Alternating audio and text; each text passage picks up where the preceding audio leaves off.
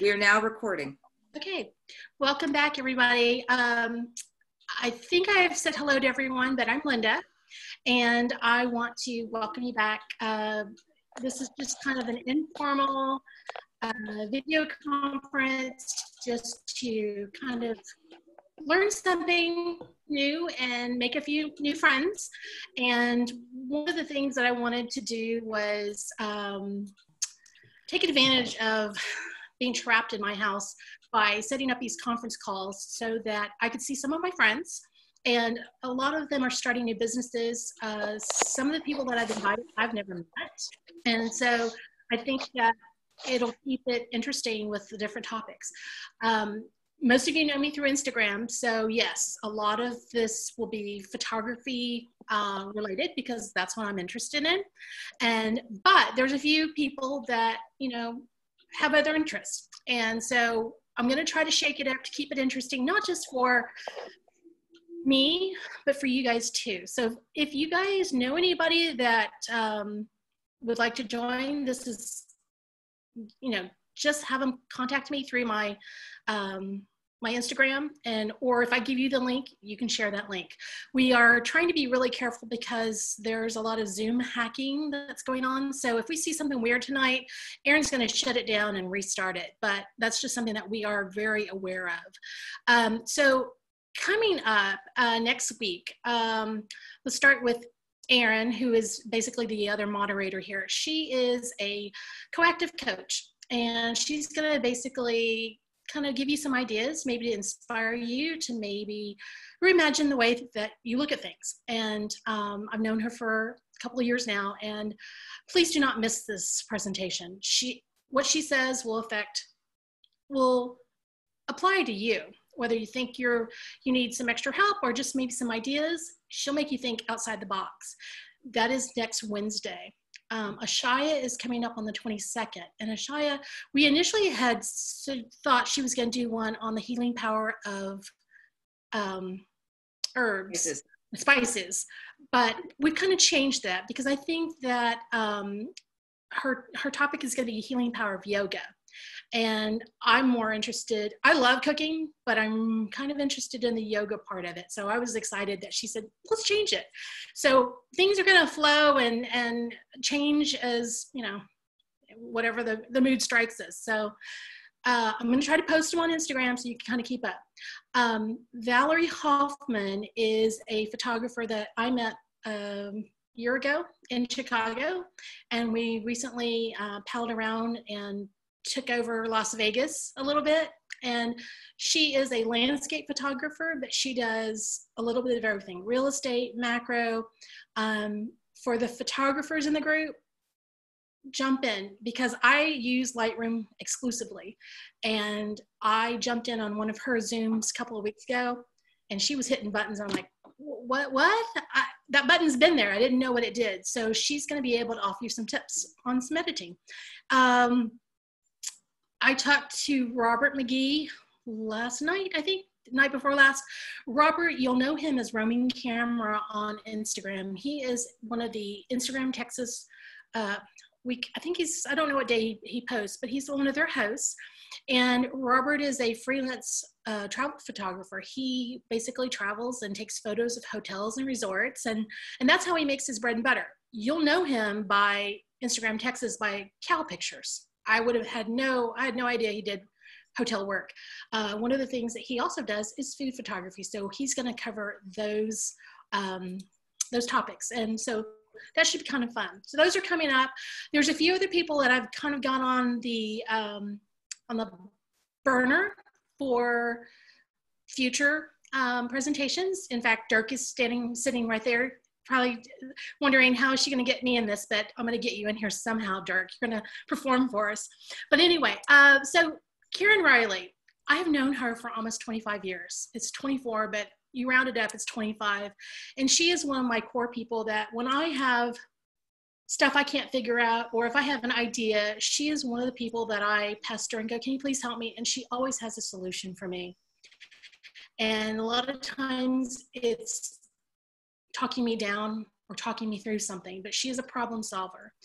her background, she has an art, I'm gonna get in trouble with this, but she's a, uh, she has an art design um, degree.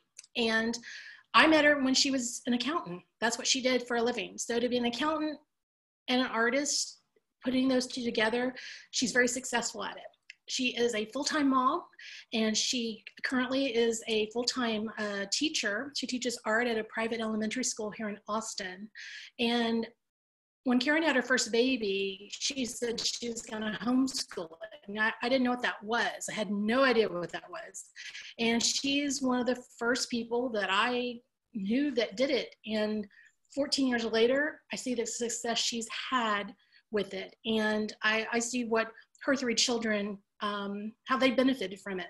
So if you're not stuck home with kids, maybe this won't apply to you, but um, feel free to give her some feedback on her presentation because I don't think this is going to be the, the last one that she does. So she's going to discuss um, three concepts that can help your family be, be successful during these very long days at home. Um, basically how to order your day, how to add variety, and, and how to help those kids take ownership of their time. So with that, I'm going to pass you on to Karen. And like uh, Erin said, we're going to mute you guys.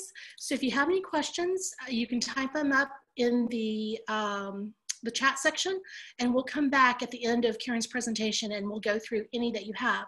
And I would encourage you that ask her questions. Here, this is good practice for her. So thank y'all for joining us and Karen, it's yours. Thank you very much.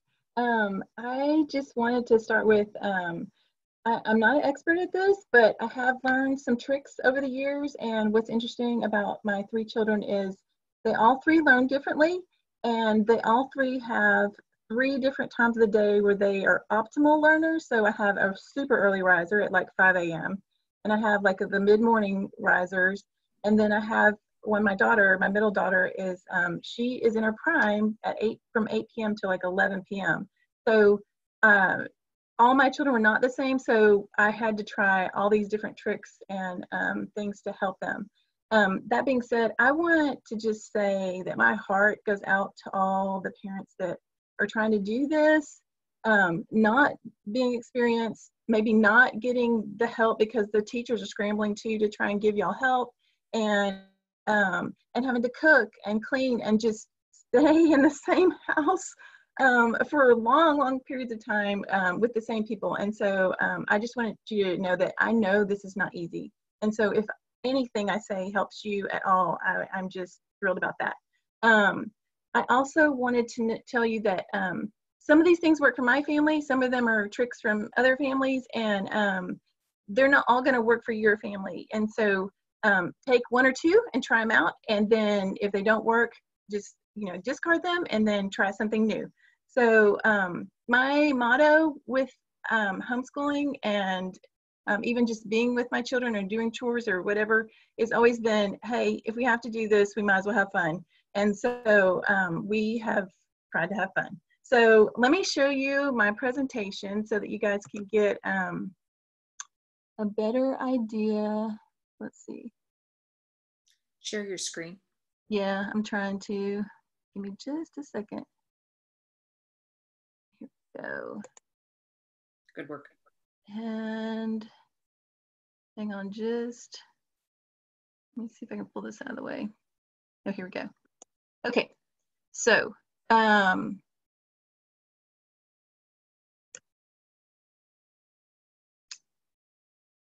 all right, Let's start with ordering your day. We're gonna we're gonna just talk about three things. There are tons of things to do. Um, ordering your day, create variety, and let the kids take ownership. Um, the thing uh, that I realized, and I am guilty of not always doing it, but I pay the consequence the next day, is to just take 15 to 30 minutes on a Sunday evening or before the school day and figure out like what can your kids do on your own what do they need help doing? Um, and then i make a list for each one and i'll show you one of my sample lists in just a minute. Um, you can even make them for your tiny kids. My son when he was in first grade was like just tell me what i need to do to get done. And i was like oh you want a list? Oh i can do that. So once he got a list um, he was so excited. So, because then he could scratch it off, and then he knew when I'm done with all this stuff, I may go out and play. So, for some kids, if they don't have, even if you just tell them if they're really tiny, um, if they can just know like this is not going to go on forever and ever, um, that um, it, it just makes them feel like, oh, I can do this for a few minutes. And um, they just don't feel like it's going to go on for eternity. Um, let's see, let me show you guys. Um, let me show you guys a sample spreadsheet that I prepared. This is just, this is not an actual um, spreadsheet. It's just a sample of what I would have made for my kids when they were probably in middle school. This is probably closer to middle school. Um, so you put your child's name because you're going to want one for each of your kids. Um, you put the date. This is like a single day. So this is like in the morning, you hand this to them with their assignments and their books. I put all the books in a box. I'll show you a picture in just a minute. A box or keep them in their backpack or some area in a basket so that all the books and the assignments go in that and it stays organized and they're not all over the house and they don't get intermingled with other kids. So all the purple stuff is what Sue has to do. And then she knows that she has to turn in certain things like her grammar, reading, and writing to her parents, whether it's her mom or dad. Because I know some moms do, you know, math and science, and some dads do literature and um, foreign language. So sometimes parents split the, the, the role. I've usually done most of it. My husband does a tiny bit. He has his own business, and so he works a lot. Um, but then at the bottom, you can see where Sue knows that, oh, I need to save these things for when mom has a time slot for me to work with me or dad has a time slot for me. And so we kind of organize that. And I'll show you for an older kid, this is what a weekly checklist would look like. So especially when you're staying at home, and if my kids right now are getting assignments for the whole week, and so their teacher said, hey, you have three memory work assignments. If you want to do them all Monday, Tuesday, Wednesday and get them done, you can get them done. So that's a good way for me to show, oh, okay, we've done everything the teachers asked us and you can check it off and then you don't have to worry about it anymore. So I, I do like the week for older kids because they already have a more detailed list probably coming from their teacher. Um, if it's tiny kids, um, you would maybe want to give them a daily list and a weekly list, uh, or maybe you keep track of the weekly list. So those kind of things are the things that you kind of work out like, does this work for my family or not? So the one thing I would recommend highly is to keep a template so that you can just pop those in every week or every night, um, and then you have them already set up. Um, so those are some samples, and I can always you can always contact me and get some samples from me. I'll be glad to give you some. Um, okay, so we also, um, one of the things that I think a lot of people have not necessarily um, done with their kids are chores. Um, and now, like maybe your your housekeeper isn't coming, or y'all are all at home a lot more, and so there's stuff everywhere. And so um, we have chores now. All of my kids. So I have um, a college age son and a high school daughter and a middle school daughter, and so that's a wide range. And so we just have a chore list. So sometimes I'll put out a chore list and I'll say, these are the things that need to get done today. And we draw straws and whoever gets, you know, closest to the number goes first and they choose one thing and then we just go down the list and then the next person goes, the next person, and then my, you know, the person that was first goes again. And so everybody feels like, okay, you didn't get all the great, the, you know, the chores that you want to get. And, um, and I got, I, I, we each got to pick something. It's kind of like um, choosing sides with you get to choose one and I get to choose one. Um, the other idea that we've done before is we zone the house. And so I say, um, okay, so-and-so is in charge of the living room. So, you know, my daughter is in charge of the living room. My son is in charge of the kitchen for a day. And then we switch. Then he's in charge of the living room. She's in charge. So you can do it that way too. And you have to pick up other people's stuff. I'm sorry. Like I'm not gonna, we're not gonna argue over whose stuff it is because we're stuck in this house together. My favorite one though, especially when my kids are small, is we would set the timer for 15 minutes and we would just go. Just pick up everything you can find and put it away. And they love that. My son, if you made a game out of it and it was a competition, he was all over it. That kid worked harder than any kid I've ever known if you called it a game. And he thought he was going to get points, even if they were fake points. It didn't matter to him. so um, so anyway, so think about the timer thing, especially if your kids are a little younger, but even if they're older, like my kids will still do that for 15 minutes. They'll go out. They've been pulling weeds 15 minutes a day and they're all like, isn't that fun? I'm like, I know, but it's 15 minutes. It's no big deal. Let's go. And so they will do that.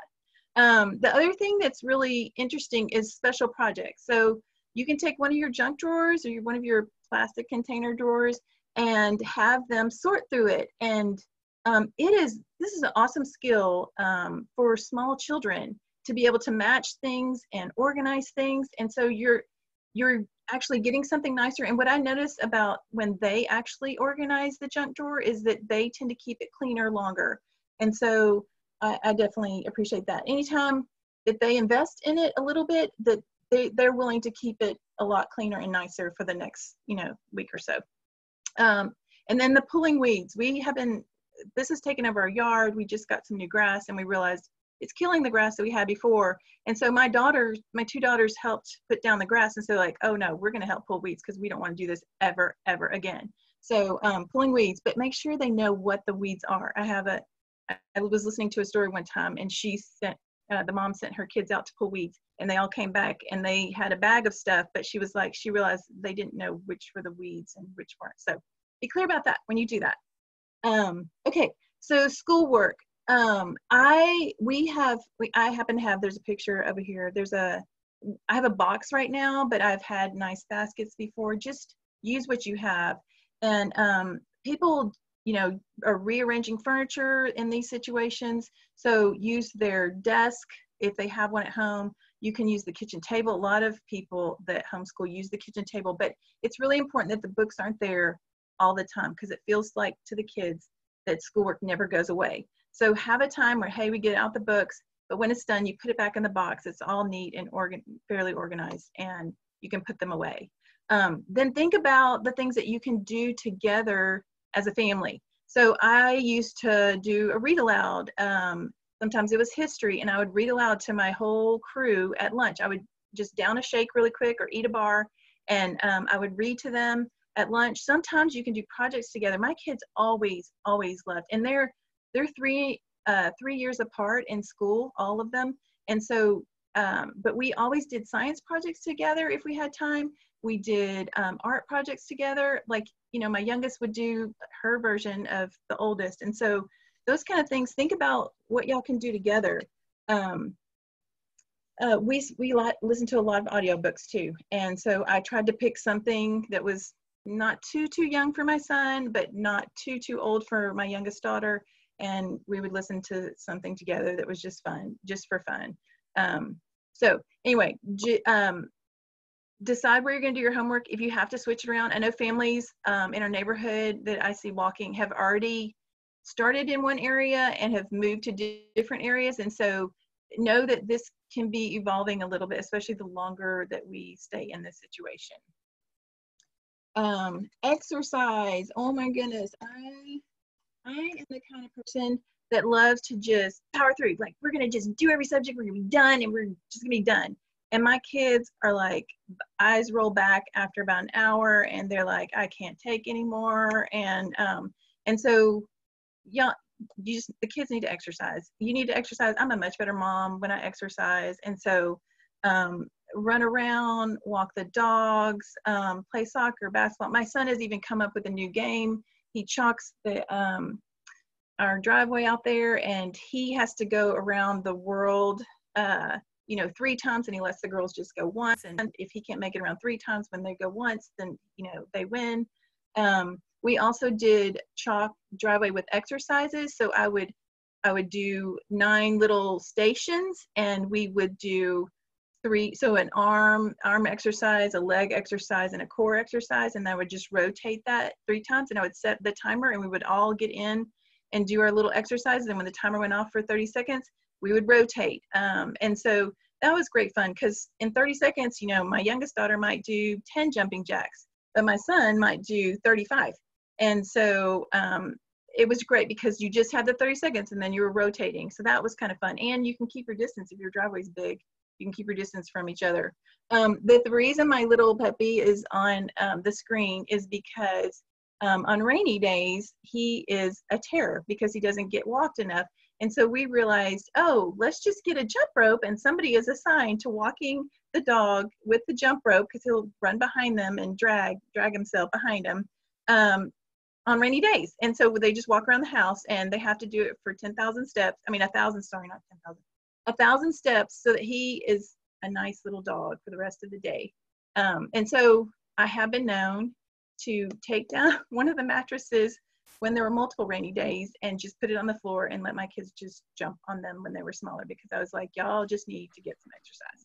So get creative in that, but make sure the one thing I would caution you about is um, set a timer. So if you're going to exercise for 15 minutes, set a timer because what I've noticed about my kids is once they walk away from the schoolwork, it's hard to get them back if there's not some sort of bell ringing or timer going off. So um, that's my word of caution to y'all. Okay, the first week there were snacks, snacks, snacks, more snacks. They they just ate their way through everything that we had bought at the grocery store. So I realized, oh, we need to set in place just like they have it at school. We eat, you know, we eat our breakfast, we have our 10 o'clock snack, we have our lunch, and we have our three o'clock snack because th- they were just eating all day long.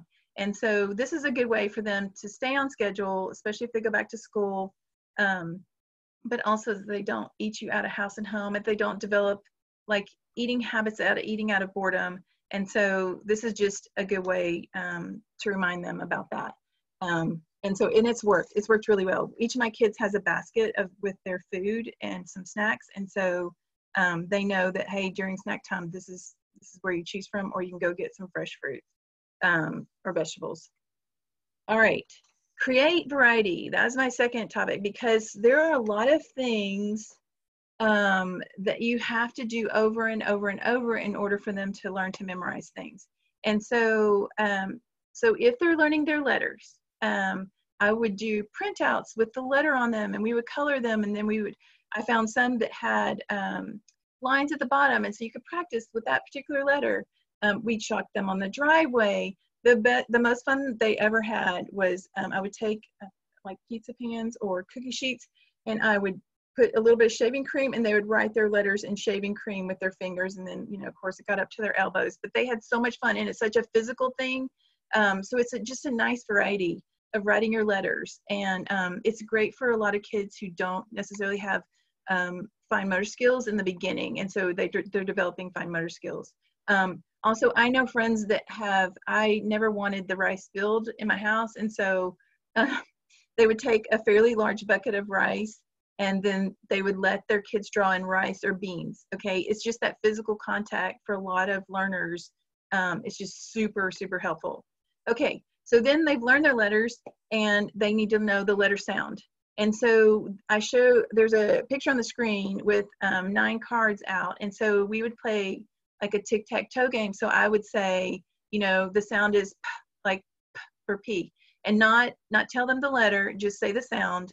And then I get, if they can't guess it, I get to put like, if I'm zeros, or O's, I get to put an O, I flip it over, I put an O there and I get that square. And so if they guess it though, they get to put an X there and then they get to say the sound for me. So then they get to do one. And so you trade back and forth. And um, those were just just fun games. And then once you wipe out those nine, you play you know, we play the next time. So you just play three or four rounds until you go through the whole alphabet.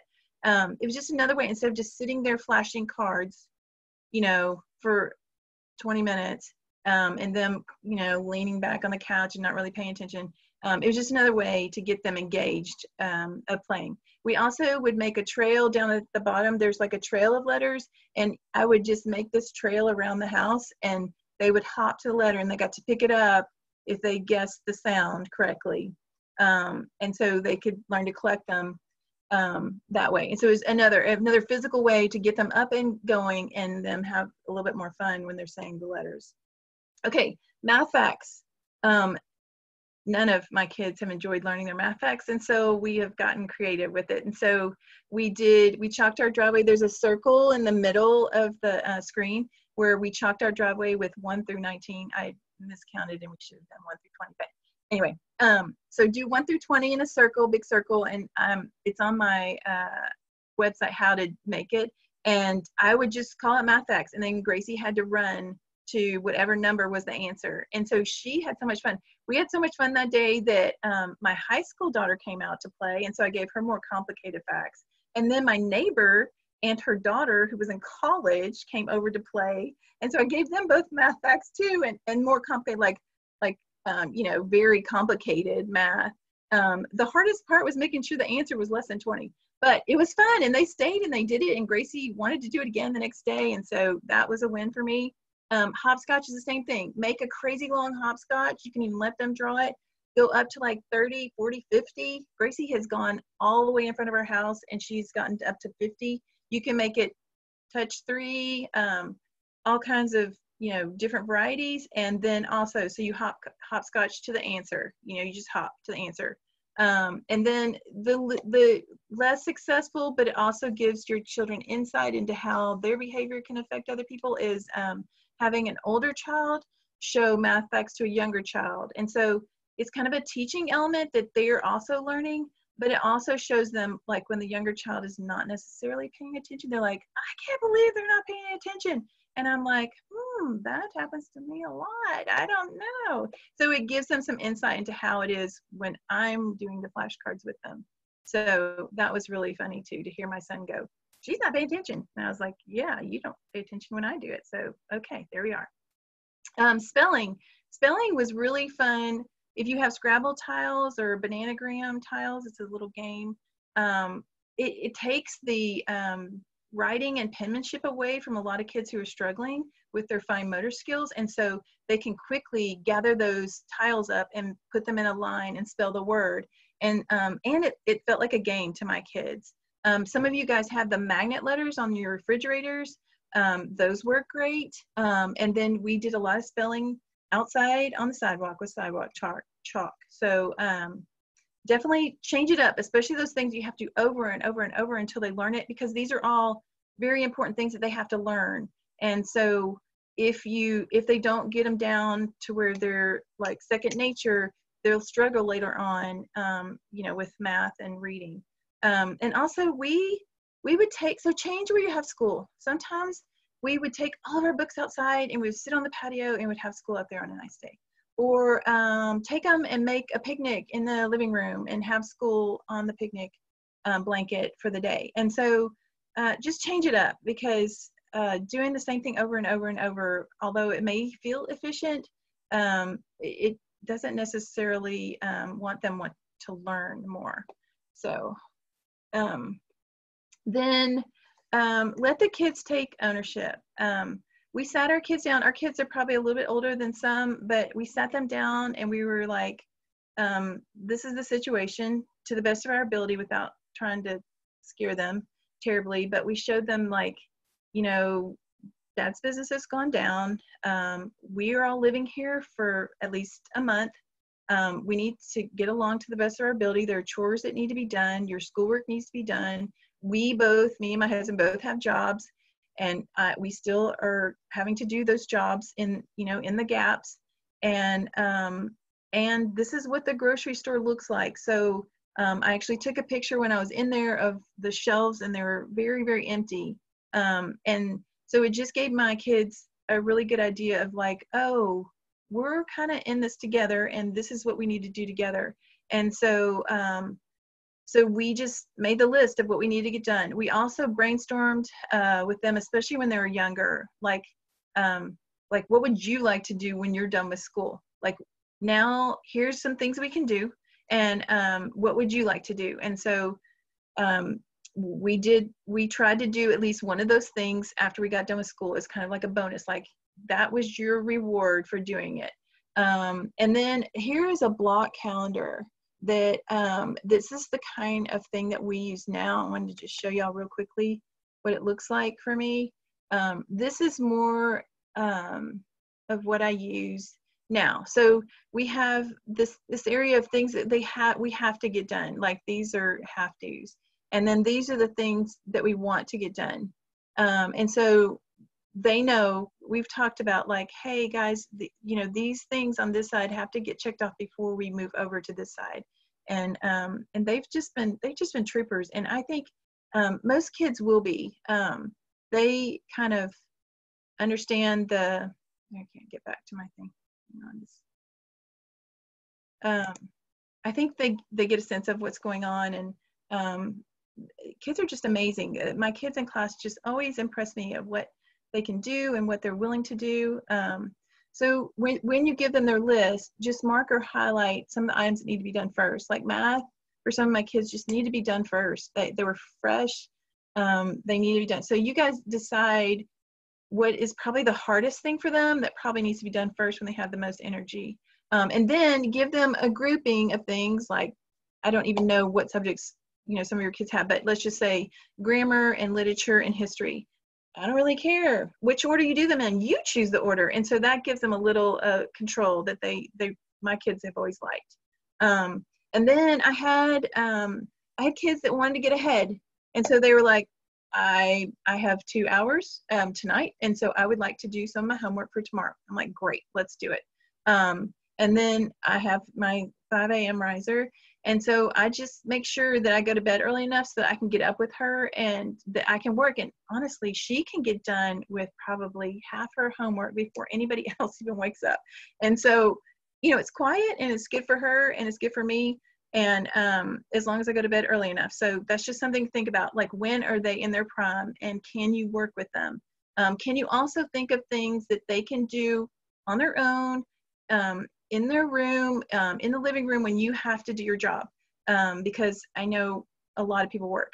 And so, you know, can we have storybook hour? I used to sit my daughter on the couch and I was like, don't get off the couch unless you have to go to the bathroom for one hour. And here is your stack of books. And I literally would give her a ton of books. I'm like, you may look at all these books, but you cannot get off the couch until, you know, an hour is done. And I would set the timer so she knew, okay, the end is coming. So um, yeah, you guys decide what playing with Legos, whatever it is that you guys have that they really like. Um, and I would change that up too. Like, hey, this time we're going to do something different. So um, so that don't, they don't get bored. The, the key for me has always been to not let them go until they don't, they're done playing with it is to do a certain amount of time and then do a slight takeaway and like, hey, we can do this again tomorrow or we can do this again next week. Um, so that they don't get totally bored with doing the same thing all the time. Um, and the last time, the last thing, um, you will come to the end of your patience. Um, and you just need to pause and take a break. Um, you need to remember that um, y'all are all on the same team, that this is really hard for them too, that you love and need each other. And um, I've often had to apologize to my kids for either yelling or shaming them. Um, and uh, just with a heartfelt, like, I wanted something so badly and I was tired of working with you with your schoolwork that I was willing to shame you or yell at you and I'm really sorry. I should not have done that. It's not this is not your fault, okay? It is stressful for everyone, but this is not your fault.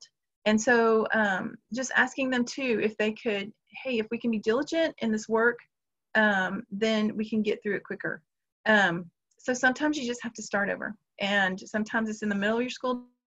Sometimes it's the very beginning of your school day.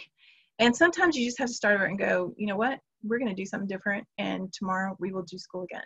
So, um, anyway, I wish you all great luck in this crazy, crazy adventure of whatever's happening, and um, that um, I specifically want you guys to know that um, it's not easy, but you guys can do it.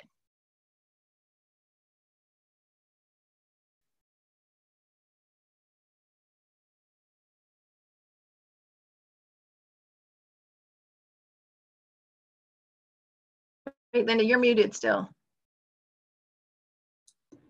I said some really important things like those. The lotto numbers, did y'all not get those?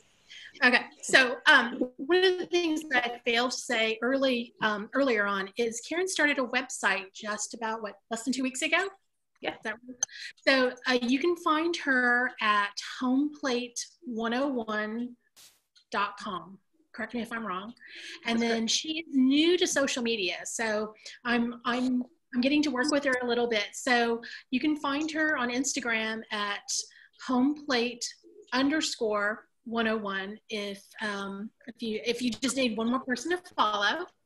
Uh, tell your friends about her. Tell her. Tell your friends about her. Her website. She um, will also, if I'm right, you'll you'll link your presentation that you yeah your handout or, or whatever you, your what's the word I'm looking for your what your your screen that you shared tonight. PowerPoint. She'll link that. your PowerPoint to her website so you can find it there. So, all right, let's see. Does anybody have any questions? Let me see. How do I figure this out? Um, chat, share screen. I keep seeing people. Um, does anybody have any questions? Erin, help me out Oh, here. I've only seen. Sadly, I actually unmuted everybody else except myself. Oh, okay, lucky you. Awesome. Karen, what I was saying is thank you for addressing different learning styles and having some of that tactile learning. Um, and I also love the idea of putting uh, timers on things because people, we can do about anything if we know that there's a finite time. For example, I think we would all be handling lockdown a lot better if we knew it was on a timer and we had a definite end in sight. So yeah, I mean, really, that's some really lovely, lovely um, work there. Thank you. Thank you. Okay. Anybody have any questions for her? I don't have a question, but I have a comment. Go I don't, I don't have any small children now, but I did homeschool my last child. And I wish I would have thought of that timer idea. I have to admit, what a wonderful thing to have because it was always hard to get him to go back to work, you know, and get back to his schooling. I wish I would have listened to you a long time ago because you have some awesome ideas. Thank you. Needless to say, homeschooling was wonderful for him, and he's he's doing well, very well. He went to college, and all is well. So, you you have some wonderful advice, and I hope some people take you up on it because it it really is helpful for sure. Thank you for your presentation. Oh, sure. Thank you. Anybody else? Hi, this is Denny. Oh, hey, Denny. Hi. I don't. I just have a comment. I'm. I'm glad I'm not doing this. I'm. I'm just sitting through this. My daughter is kind of having to do this at home now because there's, you know, uh, her six-year-old is at home and she has a three-year-old at home. So that's kind of a. That's kind of a challenge. And I know there's been end of your end of my rope days. So I'm hoping to pass on some of this to her. This was really good, Karen. Thank you. Oh, thank you. Anybody else? Good idea, actually. I should pass that information on to my daughter, who's having to Yeah. homeschool her children at this time, whether she likes it or not. Right, right. I think I'll definitely Yeah. pass that on. She'll she'll be looking at your site now. Yeah. Yeah, actually, Karen, I have passed your site on to a few people because I know, you know, there's a lot of people that are all of a sudden wind up trying to work and be a stay-at-home teacher as well. And nobody was prepared for this. It was just like, oh, guess what else you get to do now too? And so any help that we can give both the teachers and the parents, I think, you know, will be doubly welcome because no one was set up for this. It was like, guess what you get to do now? It's like, oh, crap. You're I'll kidding. do that. Okay. Anything else? I was just All gonna say, no, that was really good. So next, yeah, um, they're the greatest friends. I just, I'm, I, I get to sit here and be proud that you know I, I, I sit, sometimes I sit there and go, I picked her and her and her and him and and they're like quality people. And so when I get to introduce them to other people, they just make me prouder to, to, to know that you know they're in my my list of people that I call when I when I get in trouble and I need somebody to talk me down or walk me through something. So, okay, so Karen, thank you very much. Yeah. Yay. Uh, okay, so next week, Erin, will you wave real quick? So, Erin is, um, I always get in trouble because I don't know how to describe her because what I wanna Okay. Say- yeah, Here's a freak show that like hauls your camera shit around and will haul you up and fucking get you back down. Perform your duties as first lieutenant. Your promotion to the rank of captain, United States Army has been called. what I wanna Somebody's got a little mute back there. I, t- I took everyone off mute, but if you want to refer to me as captain, that's also fine. Um, I'm not gonna refer I'm a Star Trek fan. So So Erin and, uh, and I met. I'll tell the story over and over because it's a great story. But I met her on a plane, and I I'm, I'm notorious for getting on a plane and falling asleep immediately because I live that kind of life. And I wake up to this noise, this woman being very agitated, and she is on the phone and apparently she has missed a flight. And I'm kind of like, oh, this poor lady. And at some point I say, you know, I hope it all works out. Where are you going? And she's like, going to Frankfurt. I'm like, oh, what airline? Turns out we're on the same flight. And me, her, and her husband are running down the terminals in Houston um, International um, Airport. And we get there, the plane's still there, people are standing around. We start chatting and um, she's like, Hey, are you on Facebook? Because we should get together when we get back from our respective trips. I'm like, No, I am, but I told her no.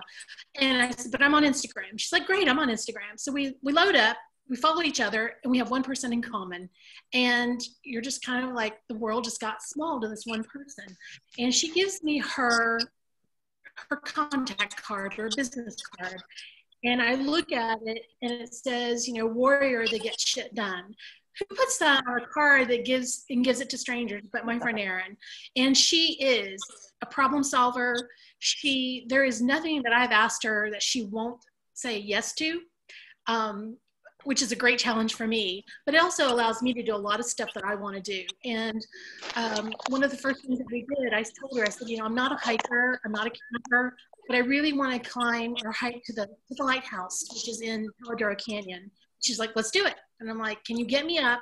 Because I want to take a picture of it at sunrise. She goes, I will get you up and I'll get you down. We will be, we'll get down safely. And we'll, we'll make a great, we'll make a great weekend out of it. So she basically drove me there and set up our camp. And she's like, the night before, she says, it's, we're gonna get up at five. We need to be on the trail at 5.30. And I'm like, 5.30 a.m.? What have I signed up for? But those are the things you have to do to get the things that you want uh, accomplish. And Erin is a, a personal coach, a professional um, that will sit there and walk through what do you want? How do you want to accomplish it? And she's a person that can kind of help you get started. And that's what I think a lot of people um, have a problem with. They, they know they want to do something and they know their idea is great, they just don't know how to get started. So let me introduce you to Erin. And Erin is offering a um, hour consultation with anybody that anybody. So if you aren't interested, but you know somebody that's struggling, send them to Erin. And um, please let them know that she'll be speaking next Wednesday. Mm-hmm. And one of the things, because we are all photographers, at least that's my interest, she's going to tweak her presentation a little bit to dress photographers. You know why do you take the pictures you take? What are you trying to to to relay to somebody your your viewer? So those are some things that i'm hoping that she'll touch on next week. So did i miss anything erin? No in fact you hit it pretty much spot on. Um, i want to talk to you about what you know how are you connecting with the people that uh, that are viewing uh, what you photograph? Um, what questions are you trying to answer uh, with your camera because yeah. powerful questions are really how we connect with people and our world at large. So, yeah. yeah. Yeah, I mean, and that's why when I look at the screen, very few of you are people that I, I mean, I, other than Michelle, who is related to me, and Karen, who I've known for a lot of years, the rest of you I've met probably through Instagram. Uh, Akshaya, I, you know, met through another friend who she asked to take photos of her for her blog on her website. And so photography, we're connected.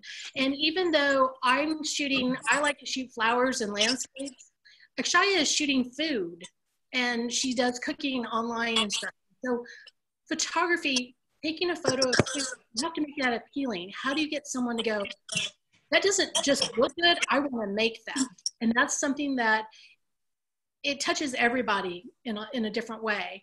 And I know that um, Faryal is here. She's you can't see her, but I met her in August or September with another group of ladies. And I said, "Hey, let's go to Brazos Bend. It's August. It's hot. It's humid. The mosquitoes are going to be really huge, but let's go." She was one of the ladies that showed up, as well as Sue. And we met through Instagram because of photos. And that's how you get linked up. And all of a sudden, these are people that I, I don't talk to them every day, but I do chat with them more than I ever thought I would. And, and, and it's really small.